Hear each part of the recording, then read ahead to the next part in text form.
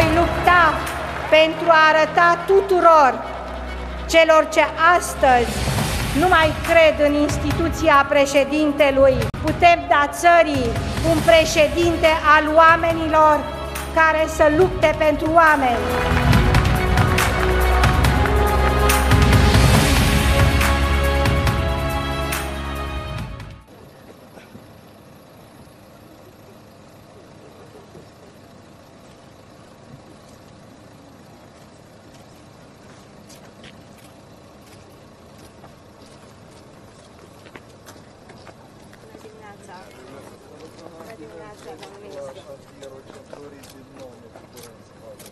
La trei luni.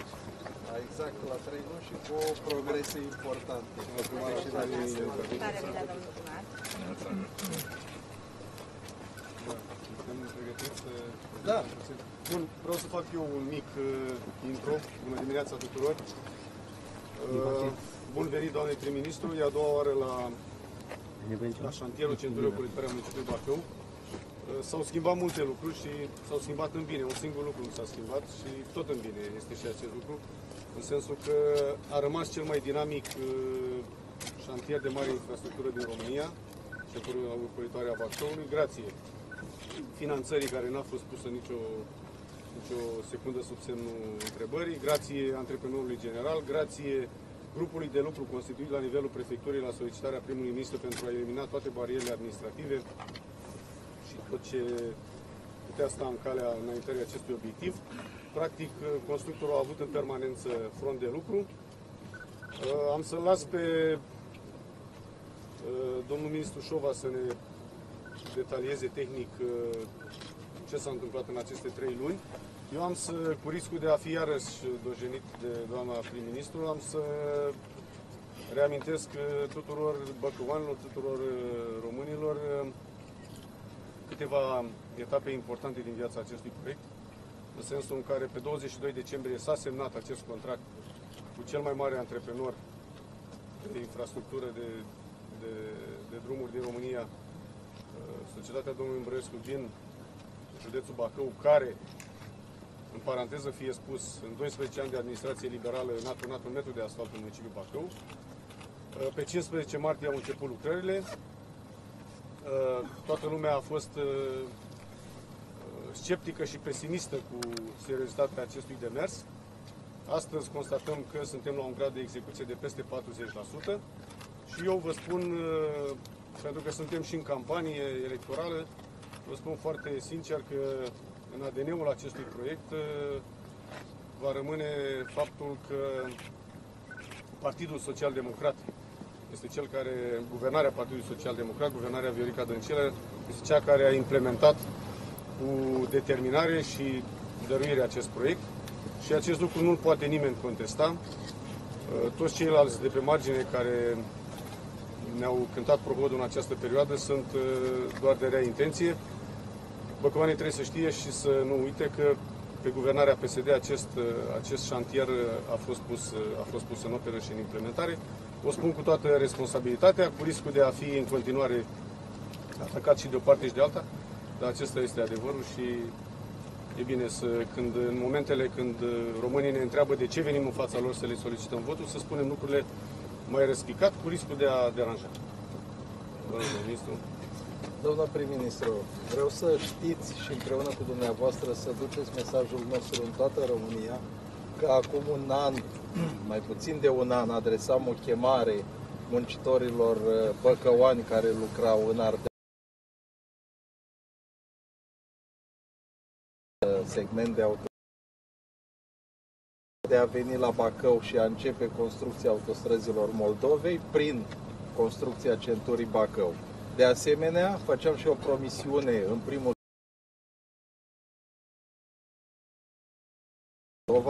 că în scurt timp acest șantier va îmbunătăți calitatea vieții și uh, va elimina multe din riscurile pe care le generează un trafic aglomerat. Iată că la mai puțin de un an suntem pe un segment experimental deja asfaltat.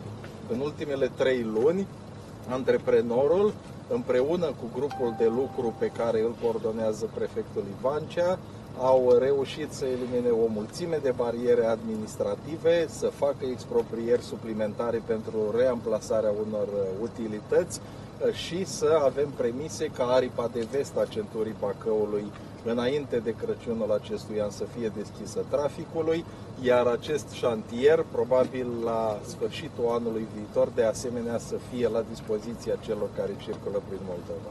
De asemenea, vreau să spuneți tuturor celor cu care vă întâlniți în această importantă perioadă de campanie electorală că românii știu să construiască, știu să proiecteze și știu să genereze dinamism în construcția de infrastructură importantă în România. Și exemplul de bună practică este cel puțin acest șantier.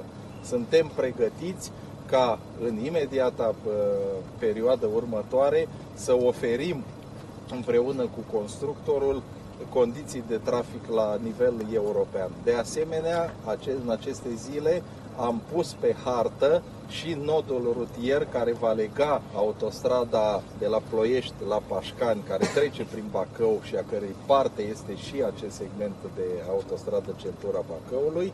Am pus pe hartă și nodul rutier care va lega Moldova de Ardeal prin intermediul autostrăzii Bacău-Brașov.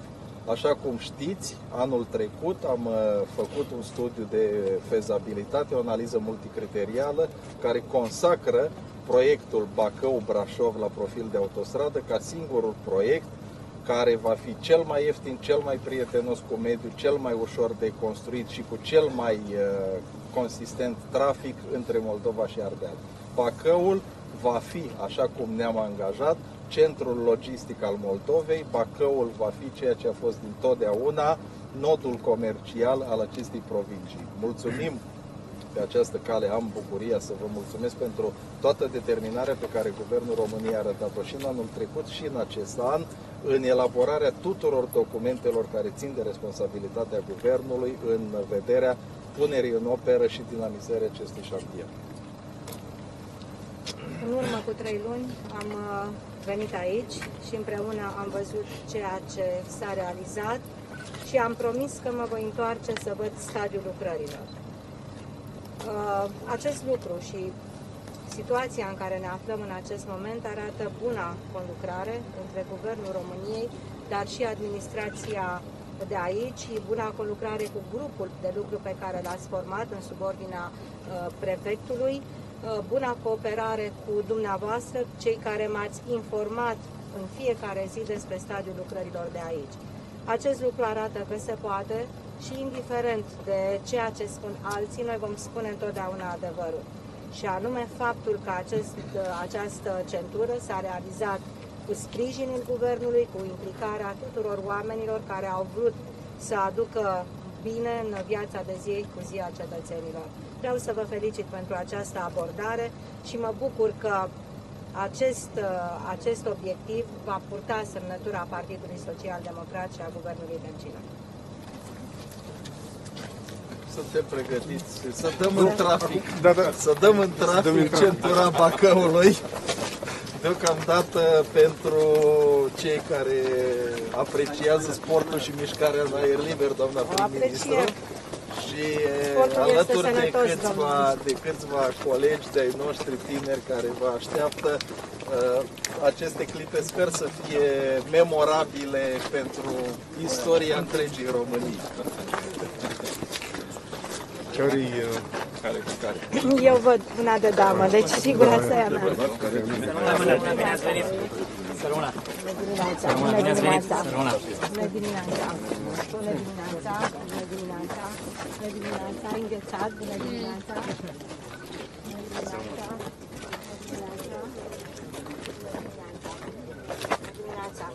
Trebuie să ne împrietenim întâi cu tovarășii de drum. Nu,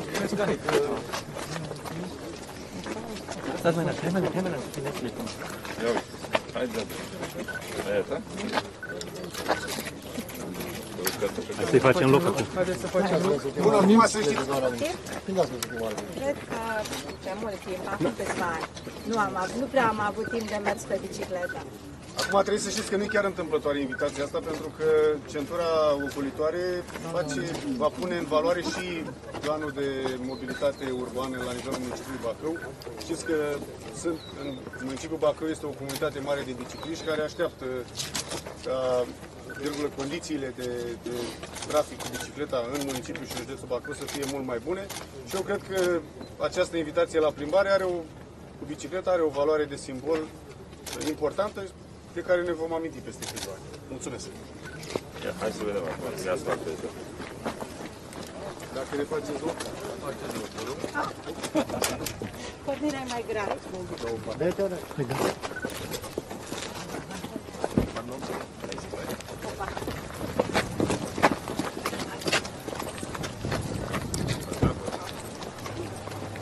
Gata, poți să Da, da, da, poți să mergi, poți să mergi.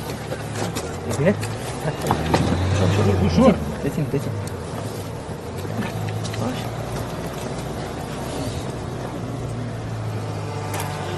Așa. Așa, e perfect.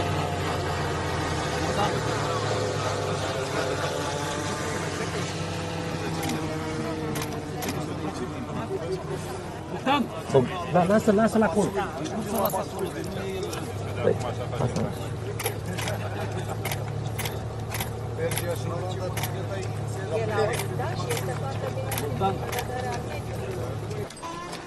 Foarte bine. Ce mai dai? Foarte bine. În primul rând am uh, văzut uh, ceea ce s-a realizat, chiar am testat cu bicicletele și în al doilea rând sportul este foarte bun. Ați mai practicat uh, alt subiect de sport? Da, am înotat, tenis de masă, deci îmi place să fac sport. Da? Mai aveți timp să faceți sport? Acum nu, foarte puțin.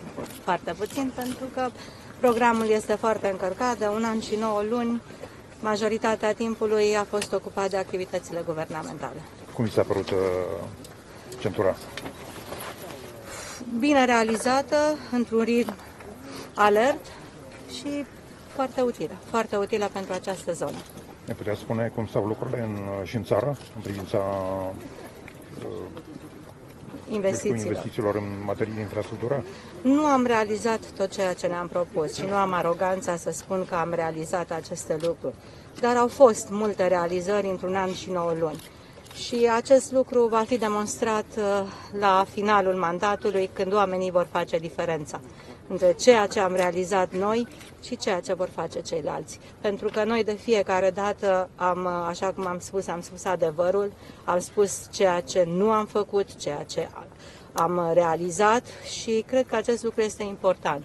Nu am avut aroganța să venim să spunem noi am făcut totul sau noi am realizat totul. Dar uh, cred că pe infrastructură sunt, mai sunt multe de realizat, dar uh, acest guvern a făcut pași importanți.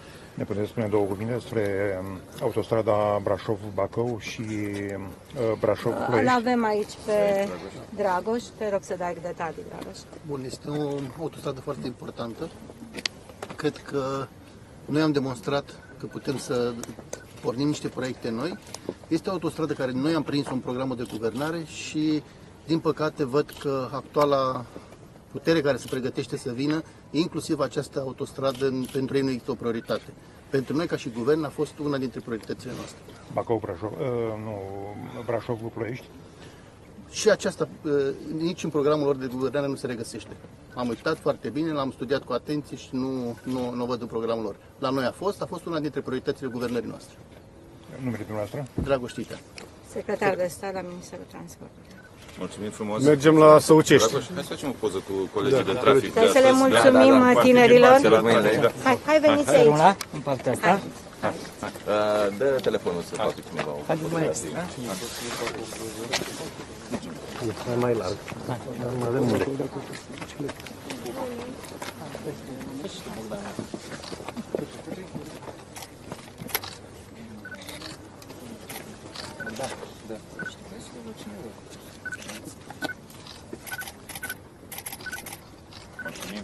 Data viitoare mergem pe aici când se termină totul, da?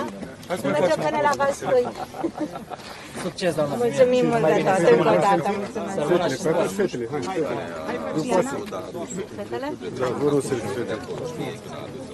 N-am reușit să facem, nu? Bogdan,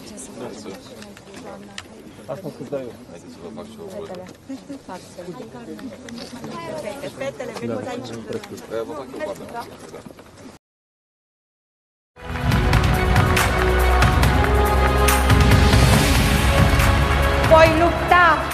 Pentru a arăta tuturor celor ce astăzi nu mai cred în instituția președintelui. Putem da țării un președinte al oamenilor care să lupte pentru oameni.